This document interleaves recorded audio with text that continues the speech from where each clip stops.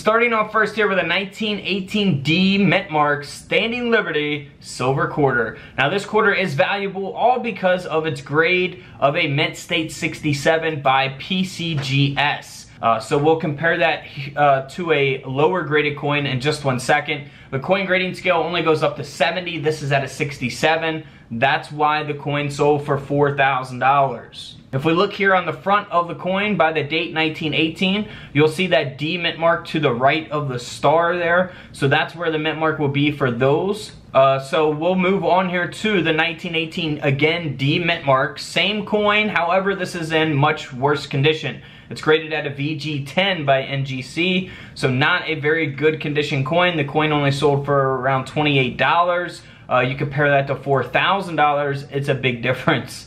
Uh, so keep that in mind. If you got an extremely high graded version of the coin, uh, you know, it can be valuable. Now here is a 1918 no mint mark. So it does not have a mint mark at all. Uh, there will be a no mint mark, a D mint mark, and an S mint mark for these coins for 1918. Now this coin does have a mint error. It's been double struck and collar. Can't really see it much on the design itself. Uh, Heritage Auctions does have this listed as a double strike. You can read more information about that on there. It does have the full head as well. So here's an example of, you know, full head uh, on the Standing Liberty silver quarters. Uh, this coin ended up selling for over $5,100 because of that mint error and of course because of its condition. You know, had it been a high mint state grade, it could have sold for more. If it was in worse condition, it could have sold for less. Now here's the 1918 no mint mark that is a very, very high grade. Mint state 68. Like I say, a 70 is a perfect on a coin grading scale, uh, perfect grade. So this coin is in excellent condition. And that's why this coin sold for over $7,000. So if you have a, you know, Standing Liberty quarter from 1918 in this condition, you might want to consider having it graded as long as it hasn't been cleaned or anything. Seven grand. Now here is another mint error. This is on the 1918 D mint mark quarter and it has a lamination here on the obverse of the coin. You'll see that there. Uh, very, very noticeable. And uh, we'll also see that there on the reverse as well.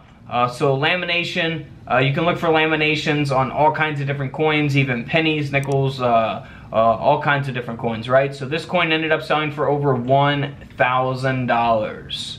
Now 1918, here's a lower graded example. The coin's only graded at an EF40. Uh, the coin sold for around 40 bucks. So, uh, you know, again, big difference between a high graded coin value and then something at a 40. Now here is a 1918S that has a couple things going on here. It's got an indent on the obverse of the coin, and it also has been struck off center. It's graded by PCGS at a Mint State 63, and this quarter ended up selling for over $5,700 because of those mint errors and its grade. Now here's a 1918 where the 8 is over the 7. Again, this is the mint mark, so if we zoom in there, we can see that mint mark by the stars. Very hard to see this date, but the coin grading company does look at the coin under high magnification, so they can tell if it's the 8 over the 7. In this condition, very, very bad condition, it's graded at a good 6. Uh, so low, low on the grading scale there.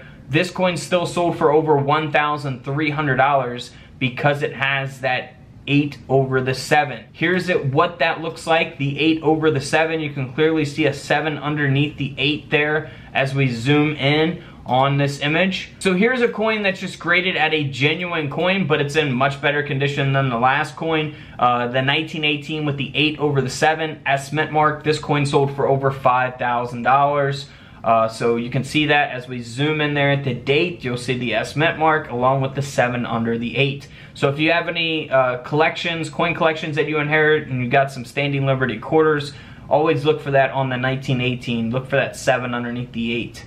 And then here's another example of that, pretty good example here. Now here's the 1918S, that is the high graded uh, example here. So graded by NGC at a Mint State 67, it has the full head. This coin sold for $27,000 uh, because of all those reasons, because of its high grade and having the full head. Uh, you know, there's probably not many of these out there graded at this grade with the full head or higher, so that's where the demand comes in, and that's why it sold for $27,000. Now here is a 1918S that sold for around $2,500, graded at a Mint State 67 as well. Uh, so 27, uh, 2500, 27,000, the full head, not the full head. You know, all these things can affect the values. Here's the 1918 no mint mark. Unfortunately, it has been cleaned, so do not clean your coins. It will definitely devalue them.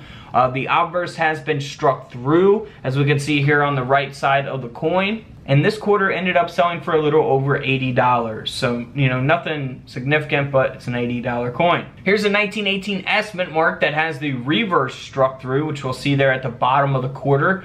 This coin ended up selling for around $145, graded at an AU58 by NGC. Alright guys, don't forget to subscribe in the middle, check out the videos to the left of me, and until tomorrow, I'll see you guys in the comment section below. This is Couch Collectibles, and this is where I disappear.